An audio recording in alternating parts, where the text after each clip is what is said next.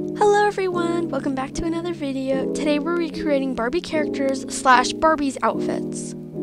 Sorry I haven't posted in like four days, I've been busy and I'll explain a little more about that in the end of this video.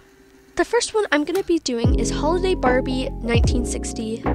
I do own this Barbie, I'm going to show a photo on screen, but I did inherit this from my grandma who sadly passed away recently and that's why I've been so busy, it's been really sad.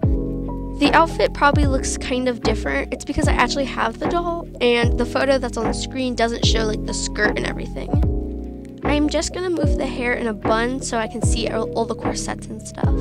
This doll's supposed to be like a New Year's doll, but it reminds me more of Christmas than New Year's. You know what I should have added? I should have added the December Dream like po poofy thingy that they hold. It would have gone perfectly with it. I was really struggling of what skirt to use. I was thinking of Magical Enchantress, but I ended up using Donna Valentina. I have always loved Barbies. Like, since I was little, my first ever Barbie was this Anna Barbie from Frozen. You know, I realized I just like dressing up like characters. I like dressing up Barbies. I love dressing up in Royale High. I just like clothes.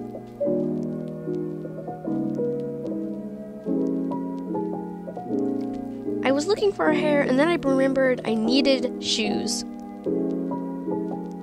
So this is my Royale High outfit versus the doll. Tell me in the comments if you think I did a good job.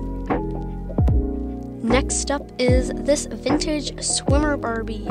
I got this doll at a mall. I think it was V-Stop, but it was cool. And I got her for really cheap, like $11. Here's a picture of my doll.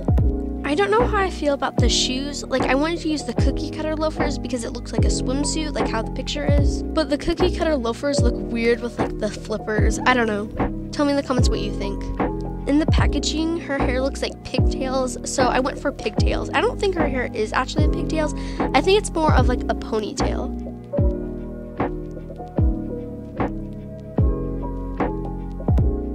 The makeup, like the custom face, was really easy because she wore like no makeup. Okay, this is the final product.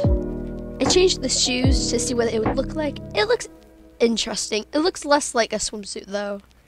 The next one I did was the first ever Barbie ever because like she's iconic. I was really struggling trying to find a good hair because it's like short and it's like a ponytail and it's like a low ponytail and there's not really any short low ponytail hairs in Royale High. But I did find one. So in the image, her eyes are, look like she's like staring at someone. So I was trying to find a good pair of eyes that look like she's staring at someone. I did end up using the eyes that I was already wearing. She's all fancy. She has some nice earrings. Her swimsuit's very like like very fancy and luxurious. So very very cute. I thought it was going to be harder to find a pattern that matched, but it was pretty easy. Okay, this is the final product. I feel like this one is one of my favorites. I added the summer fantasy bag to look like little sunglasses she's holding. So this next one is Barbie Life in the Dream House Barbie. I based this outfit off of the doll. And if you've seen the series, don't be worried, I am gonna do Raquelle next. I added the dramatic eyelashes because like the doll actually has like 3D eyelashes.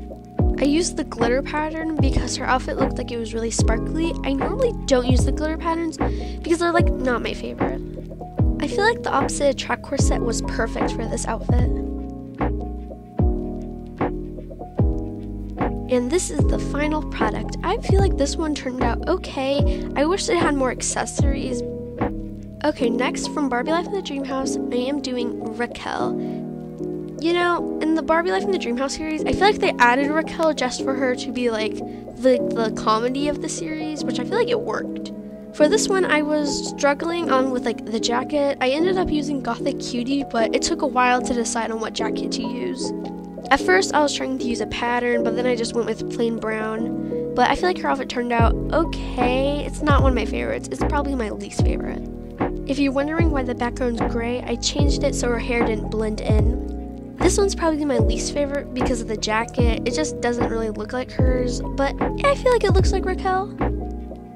So this is going to be the last one. I am doing Ken from Barbie Life in the Dream House. Still, I'm basing off the doll. He was not my favorite in the Barbie Life in the Dream House series. In the other like Barbie series, he was a bit better, but he wasn't my favorite in the Barbie Life in the Dream House series. I couldn't find an exact pattern, but it had palm trees, but like they live in Malibu, so it's fine.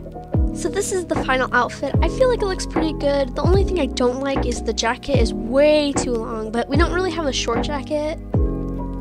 Okay, those are all the outfits I did. I hope you guys enjoyed this video.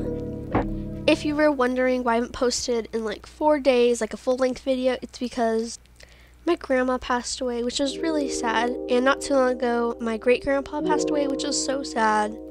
So I was kind of out of town and I didn't have time to make a full length video. So if you haven't talked to someone in a while, just tell them that you love them. And I hope you guys have a wonderful day. Bye!